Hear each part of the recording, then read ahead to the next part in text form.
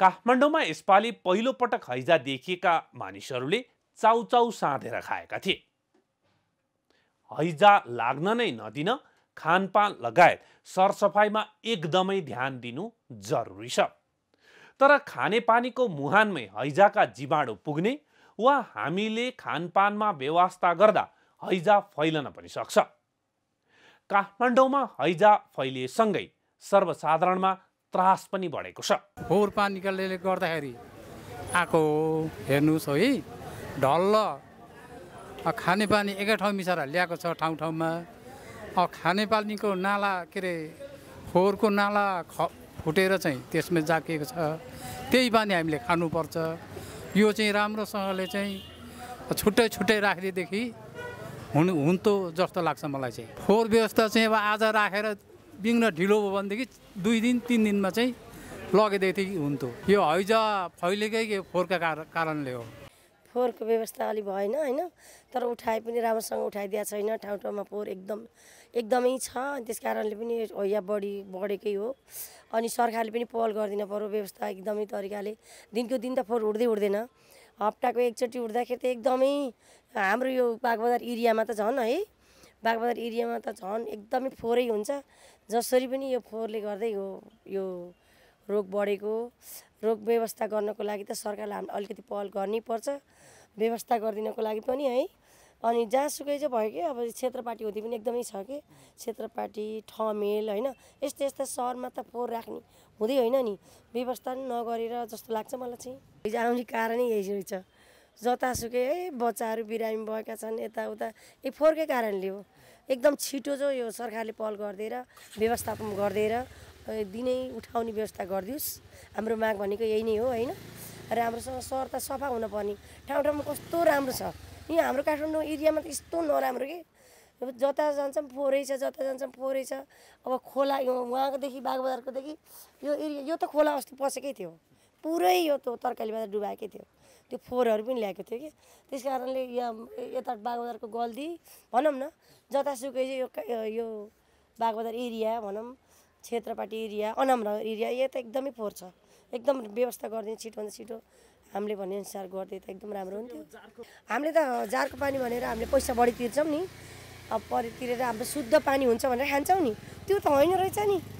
एकदमै ठाउँ ठाउँबाट खोल्साबाट उठाएर ल्याउँछ। अनि पैसा एकदमै तरकारीले लगिरहेछ एक सय पचास भन्थ्यो त्यो कार्टुनलाई। त्यसै कारणले गर्दा एकदमै फोहोर छ। फोहोरको कारणले गर्दा एकदमै फोहोर छिटोभन्दा छिटो सरकारले उठाइदियोस्। त्यो हाम्रो यही भनाइ छ। बागबजार एरियामा यो काठमाडौँको मुटु भनेर चिनिने यो एरियामा जुन हैजा पैदा भयो भन्ने कुराहरू गर्नुभयो यहाँ नजिकै हस्पिटलहरू सबभन्दा वीर हस्पिटल जस्ता हस्पिटल हुँदा पनि यहाँका सम्पूर्ण जनताहरूलाई धेरैलाई एउटा हैजा देखिएको छ। त्यो कुन कारणले भयो भने यहाँका जुन साठी बैसठी हजार जनताले जुन हाम्रो बालिन शाहलाई जिताएर लग्नुभयो र उहाँलाई कुन कारणमा कुन ठाउँमा बन्देज गरिएको छ के गरिएको छ भन्ने कुराहरू यहाँका जनताहरूलाई अलमल्ल ढुङ्ग परेका छन्।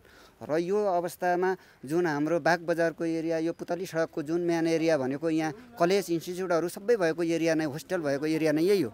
हो यो एरियामा फोहोर व्यवस्थापनको कुनै पनि अहिलेसम्म देखिएन तर जुन ठाउँमा जानुहोस् जुन गल्लीमा जानुहोस् फोहोरै फोहोर छ।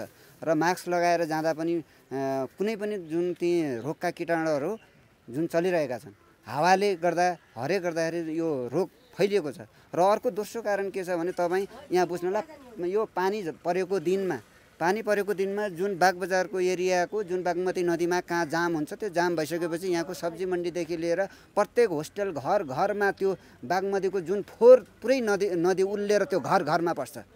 दुई तिन दिनसम्म त्यो सफाइ गर्दा पनि फोहोर जाँदैन। तर त्यो एक हप्तासम्म त्यो पुरा गनाइरहेको हुन्छ। र त्यहाँका किटाणुहरू त गनाएपछि त हामीले जुन सानो खुर्सानी पिस्दाखेरि हातमा लागेको धुँदा धुँदै पनि हात आँखामा लगाउँदा त पोल्छ भने तर त्यो फोहोरलाई हालले चलाउँदा फाल्दा त त्यसो हामीले खानुपर्छ।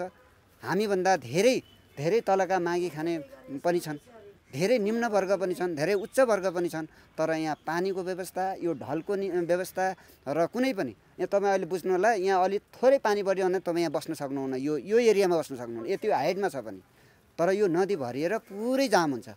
खास हामीले यो फोहोर व्यवस्थापन फोहोर मैलाहरू आज थुप्रै ठाउँमा फैलिरहेको छ। हामीले त्यसमा फोहोर मैलाहरू अहिले हामीले सुरक्षित ढङ्गले हामीले त्यसलाई राम्रो गऱ्यो भने त्यसमा हाम्रो यो हाइज्याकहरू पनि अलि अलि राम्रै हुन्छ रोगहरू पनि अलि फैलिन अलि कम हुन्छ होइन? त्यसमाथि पहिला पनि अब भनौँ न धेरै मान्छेहरू पनि यो रोगले यो हाइज्याक हुने जताततै गएर यो कुहिने फोहोर नकुहिने फोहोरहरू धेरै ठाउँमा फैलिरहेको छ होइन? अब जताततै मान्छेहरू गनाएर मास्क छोपेर मुख गनाएर हिँडिरहेको छ। त्यसमा हामीले अब यो फोहोर मैलाहरू व्यवस्थापन हामीले अलि राम्रै ढङ्गले गऱ्यो भने हामीले केही यो हाइज्याक पनि रोगहरू हट्न सक्ने चान्सेस छ। हामी आफैले यो हैजालाई चाहिँ कम गर्न के के गर्नु पर्ला हामीले यो हाइज्याकहरूलाई कम गर्नलाई चाहिँ खास यो मेन चाहिँ यो भन्नुपर्दा फोहोर मैला व्यवस्थापन अलि एकदम राम्रो सुरक्षित ढङ्गले गऱ्यो भने चाहिँ हाइज्याकहरू अलिक कम नै हुन सक्नेछ।